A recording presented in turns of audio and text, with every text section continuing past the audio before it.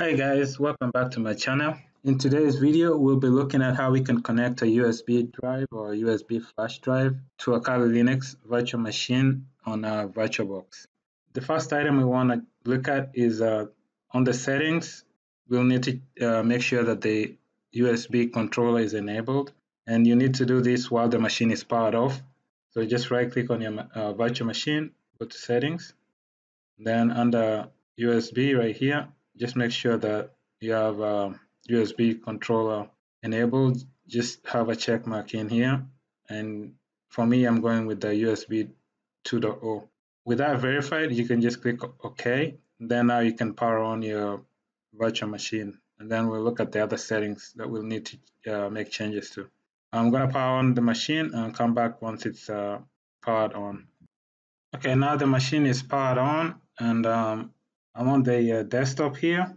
I'll open the terminal and run a few commands to check if we can see any uh, block devices listed and see if we can recognize the USB drive. Uh, one of the commands we can use is uh, lsblk to list the block devices on the device and right now we only have SDA which is my main disk right here and I also have uh, the CD-ROM right here. I'm not seeing any other block devices. We can also use uh, df-h and here we still are not seeing anything else other than SDA1. Let's look at another command which is mount and this is just gonna try and see what's mounted under dev. Again, I'm only seeing SDA1. Uh, I'm not seeing any SDB. So lastly, let's look inside the their folder. And here you can see that we, we only have uh, SDA again and nothing that says B. Now, in order for us to connect our USB to this machine, we'll need to go to devices, then USB, and then it should be listed here, your USB uh, device or USB flash drive. And what you need to do is just click on it then if you go back to it, there should be a check mark right next to it. And now we have it connected.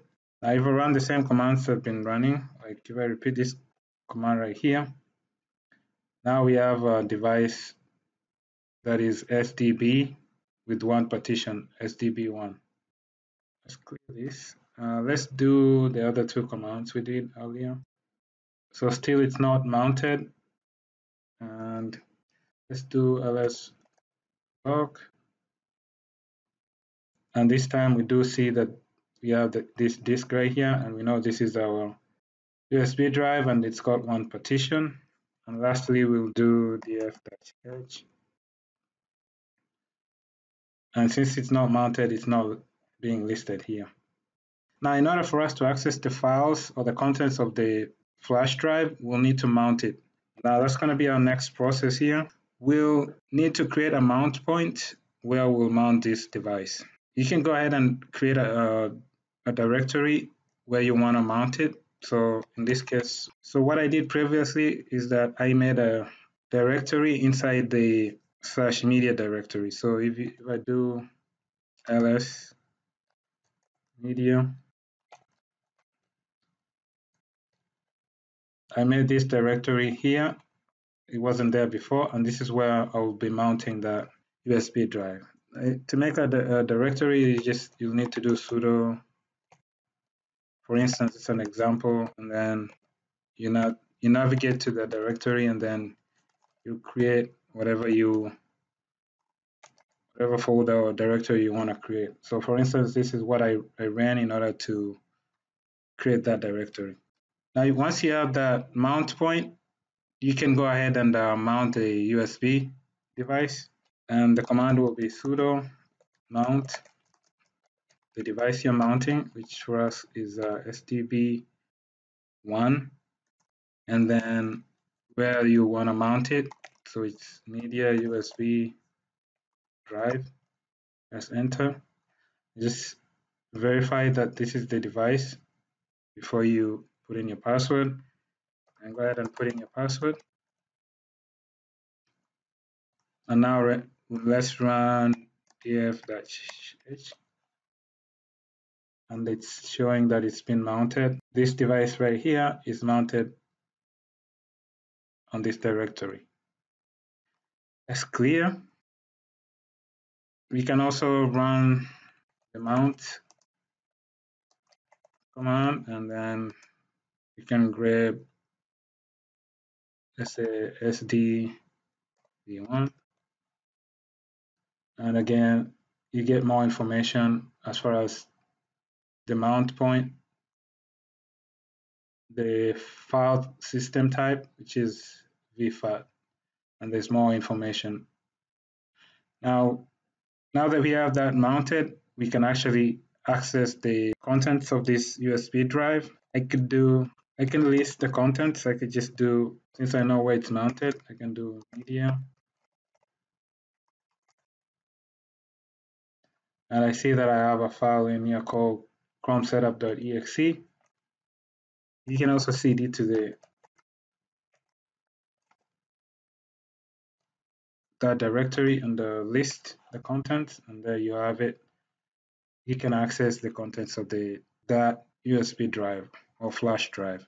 Now once you're, you're done using the USB drive, let's say you just wanted to copy this file to your Kali Linux device, and now you want to just pull out the USB drive. Before you do that, it's a good idea to unmount the USB drive and it's just a one quick command to unmount it. What you can do is you can say sudo umount and then the device you're looking to unmount which is SDB1 and now if I do df-h SDB is not showing. And if I repeat the other command here, it's not mounted anymore. And now we can actually pull out the USB flash drive from the system or from your host device. Now, the, there's another item I wanted to talk about.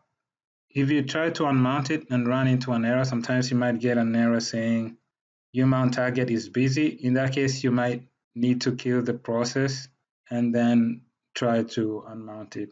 For instance, what you'll need to do, you'll need to find out what process it is. Uh, so the command you might need to use is sudo lsof, and then you need to put here the device name you're trying to unmount, and press enter. And this should list uh, the process ID for you. Once you have the process ID, then you can do sudo kill dash nine. And then you put the process ID here. Say, uh, let's say it's 2017 or something like that. That should allow you to uh, run the un, uh, umount. And that should allow you to now unmount the device using umount command. Lastly, if you're looking to have this USB drive permanently installed, or mounted, you'll need to add it to the fstab file, which is under. So you need to add it to etc fstab. So you need a new line here. So you need to edit this file and put a new line representing your USB drive. That way you can have it permanently mounted on your system. So that's it for this video. I hope this has been helpful. I'll see you all in my next video. Thanks. Bye.